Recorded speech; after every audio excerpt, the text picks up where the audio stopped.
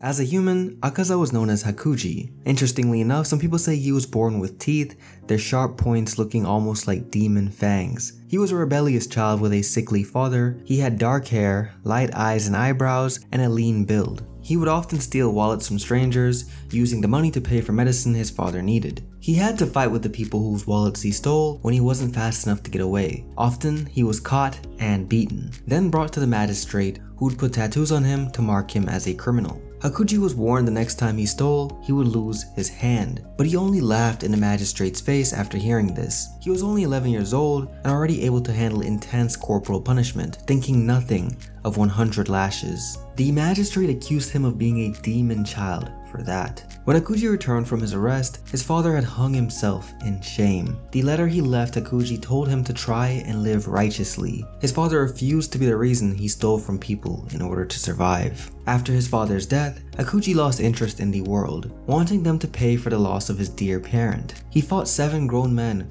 with his bare hands and won, attracting the attention of a dojo owner. Hakuji, wanting nothing to do with the man, attacked him, but he was easily beaten. He chose to follow this man, Keizo, to his dojo. In order to stay there, Hakuji would have to take care of Keizo's ailing daughter. Her name was Koyuki. Immediately upon seeing her, Hakuji imagined his sick father in her place. Having nursed his father for so long, it wasn't difficult for Hakuji to take care of her. He even suggested when she started to feel better, he would carry her outside to see fireworks. After three years, Hakuji turned 18 and Koyuki's health was much better. She could live normally thanks to him. Keizo then asked Hakuji to be his successor, as Koyuki secretly liked him. Later on while watching fireworks, Koyuki would confirm with Hakuji that he was alright with the proposal, and it was during this that he promised to protect her for the rest of his life. Hakuji, feeling grateful to have had his life turn around, went to see his father's grave and tell him the good news. But he sensed something awful waiting for him. When he arrived, he found out the water well had been poisoned and Koyuki and her father died. With nothing left to keep his sanity, Hakuji went on a rampage and killed 67 members of the nearby dojo, the one that had poisoned the well without the use of a weapon. The incident was so bad that it caught the attention of Muzan, who was disappointed to find out a human did it, not a demon. Muzan would cross paths with Hakuji and decide to make him one of the 12 Kizuki. At this point Hakuji had nothing left in his mind, and so he would lose all the memories of his human past and become the demon Akaza. With this, he acquired a new look. He had pinkish red hair as well as lashes and eyebrows, tattoos all over his body, and golden eyes that stand out against his pale skin. As the upper rank 3 demon, Akaza has many great talents. Instant healing, super speed, and strength, as well as the ability to adapt to almost any fighting style he encounters. Now let's get into what is probably Akaza's most iconic moment, the Mugen Train arc. From the wreckage of the train comes Akaza sent by Muzan as he was close to the area. Akaza despises weak humans and tells Kyojuro this, wanting to end the demon slayer lying on the ground. He sees him only as a distraction for his opponent. Akaza makes it clear from the start that all he values is strength and winning through physical prowess. He encourages Kyojuro to join him as a demon so he can continue to train and become stronger. But Rengoku refuses this offer. Akaza then showcases a number of techniques. One is Destructive Death, Compass Needle, which places markings on the ground beneath him as his aura grows stronger, allowing him to sense his opponent's incoming attacks. In the air, like on the ground, Akaza attacks fiercely, with little to no way to avoid his powerful blows that pierce the air at super speed. As Kyojuro proves he can keep up in terms of speed, he slices through Akaza's fist and arms, but his demon blood fixes every injury in an instant. As their fight goes on, Akaza becomes fiercer while Kyojuro begins to lose stamina, gaining more injuries that he cannot heal.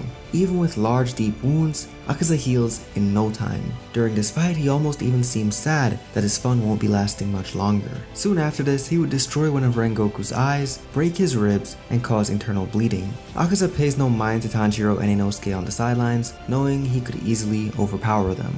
Even with the knowledge that Kyojuro is close to death, Akaza can't help but watch in awe as his opponent pushes beyond his limits to reach greater heights of power. He trembles in anticipation of facing the next attack, smiling widely. At the same moment, Akaza uses a technique called Annihilation Type, producing a large blast of power impossible for anyone outside to see through until the smoke clears. Despite Kyojuro slicing deeply through Akaza's chest, Akaza has pierced him with a deeper attack, his arm straight through his body. Akaza knows he's won, but he tries almost desperately to recruit Kyojuro once more. Needing to have a strong warrior like him around. But the fight isn't over with Kyojuro trying his best to sever Akaza's head from his neck. The blade digs in part way, but Akaza notices the sun rising and panics. Before Inosuke can stab him, Akaza rips both his arms from Kyojuro's body, jumping away from the incoming sunlight. Akaza then rushes towards the dark forest, seeking cover. As he makes his way further within the trees, the blade belonging to Tanjiro stabs him in the chest. Tanjiro screams that he is a coward, and Akaza's anger grows at this, knowing his true fear is the sun. Not long after the fight with Kyojuro, Akaza reports to Muzan. He announces his win against the Flame Hashira and how he wasn't able to find the Blue Spider Lily, a plant rumored to allow demons to walk in sunlight. However, Muzan here tortures Akaza, pointing out how he should have killed all the demon slayers who were there, not simply the pillar. After Akaza is dismissed, he's furious to have been injured by Tanjiro, vowing to destroy him the next time they meet. Following the death of an Upper Moon, the demons are automatically summoned by Muzan. All of the Upper Moons speculate on who was the one to fall, since it's been over a century since they last gathered. During this, Akaza only wonders if Muzan has arrived. When the Biwa woman tells him he hasn't, he instead asks about Upper Moon 1, the strongest demon of their ranks. But all of the upper ranks are accounted for except for Gyutaro, Upper Moon 6. Upper rank 2, Doma teases Akaza about not caring about his well-being, but it's clear from Akaza's cold expression that he despises the higher ranked demon. This is due to the fact that Akaza refuses to hurt or kill women even as a demon, but Doma seems to only take pleasure in consuming young women. When Doma continues to treat him as if they are anything close to friends, Akaza punches him to get his point across. Only when Kokushibo, Upper Moon 1, speaks does Akaza seem to show a sudden interest. Muzan then arrives and everyone bows in his presence of course. The meeting continues but Akaza tires of Doma's overly jovial demeanor and is wanting to know about every mission that was assigned. He slashes the upper half of his head as he is talking, showing his disdain once more. However, moving even faster than Akaza is Kokushibo who has cut off Akaza's hand for disrespecting the ranks within the demons. Akaza then tells Kokushibo that he will kill him, aiming to be the strongest among them his expression serious and determined. We then reach the Infinity Castle arc where Akaza was waiting within the castle before then smashing through the floor above Tanjiro and Giyu to land mere feet from them. Smiling in a vicious way, Akaza greets Tanjiro by launching himself at him. Right before he's able to land a hit, Tanjiro flips him over and slices off his left arm. Surprised by the injury, Akaza fights harder, his expression intense and focused as he aims to strike Tanjiro in the head. He's shocked to see not only did he miss, but he was once again cut, this time across the middle of his face. Realizing how far Tanjiro has come, Akaza agrees with what Kyojuro had said in the past. His playful smile returns as he takes a defensive stance in recognition of his growth. Akaza gleefully takes on Giyu as well, excited to fight another water pillar seeing as it had been years since he last fought one.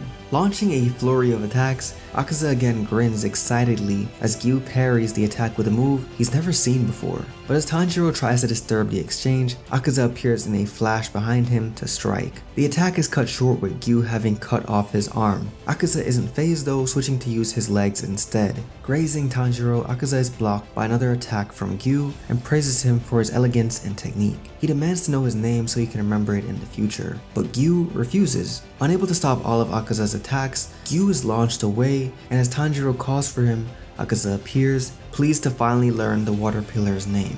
Akaza beams at Tanjiro for his growth, grateful for how far he's come in such a short amount of time. He even admits that he's glad that Kyojuro died, because he likely wouldn't have grown stronger than he was. The demon would then explain how weakness is sickening to him, and that the weak can only need to be removed by nature. Only the strong survive. Tanjiro argues that Akaza too was once weak, which enraged him instantly. What Tanjiro said reminds Akaza of his human past, and he imagines a man reaching out for him. When he tries to hit the man, no one is there. All his anger shifts to Tanjiro once more, confused by the thoughts that just came into his mind. Akaza's attacks become sharper and more precise, so fast that Tanjiro can barely dodge any of them. Just as Akaza believes he has the upper hand, Tanjiro uses a technique and manages to slice at his neck. But the fight rages on, Akaza pushing back at everything Tanjiro uses until he finally catches his blade between both palms. Before he can break it in half, Tanjiro smashes him with his head,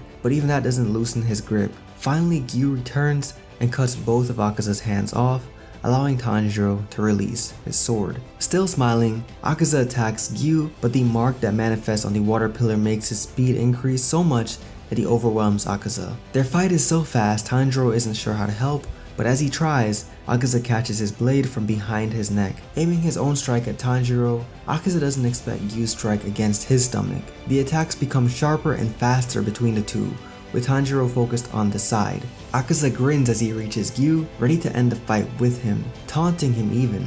He then strikes Giyu's sword from the side, cracking the blade in half easily, aiming to end the fight with Giyu the same way he killed Kyojuro. Akaza sends his fist towards his chest, but instead of going through, his fist is gone before it can even make contact, just a bleeding stump is left behind. Instinct tells Akaza that Tanjiro is a problem that must be ended now. He uses a previously unused technique, Blue Silver Chaotic Afterglow, in an attempt to finish them both off at the same time. The attack lands dozens of blows on Giyu. Akaza watches as he crumples to the ground in pain and not one to miss the chance to boast, Akaza tells Giyu to become a demon instead of dying like Tanjiro. Unaware that Akaza can no longer detect Tanjiro's presence, his attacks don't hit him the way they were, and his compass can't even sense his fighting spirit either. With one clean cut from Tanjiro, Akaza's head falls from his neck, his shock almost more from the lack of fighting spirit than the loss. On the verge of death, Akaza analyzes how the situation came to be. For someone to surpass his hundreds of years of battles, to show no bloodlust or fighting spirit, and reach the height he had been seeking,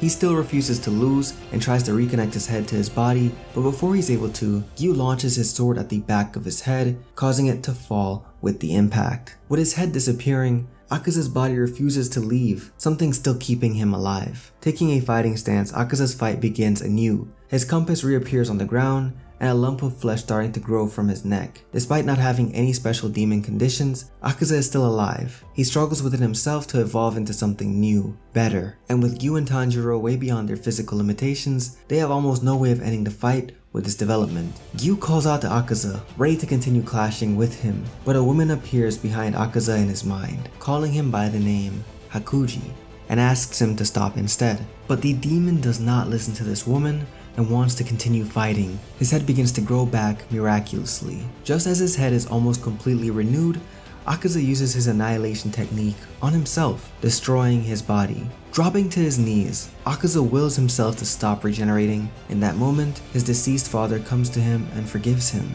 as does his dojo master, Keizo. Muzan appears to him, goading him about becoming the strongest, but Koyuki, his deceased fiance, lets him know his promise has been fulfilled and that it's okay to stop now. As he cries in her arms, his body slowly disintegrates, the pieces floating away. In the last moments of Akaza's life, he returns to his human form, Hakuji. Crossing over for good, he greets his father, his master, and Koyuki, with Koyuki holding him tightly to her chest fire surrounding them on all sides. And with that, we conclude the life of Hakuji and Akaza. Probably the most iconic demon in Demon Slayer. I think a lot of us like him despite what he did to our boy Rengoku. Hope you enjoyed the video. If you did, be sure to drop a like, and if you aren't already, don't forget to subscribe to Plot Armor notifications on to never miss an upload. Until next time, keep that Plot Armor on you. I'm KJ, have a great day, goodbye.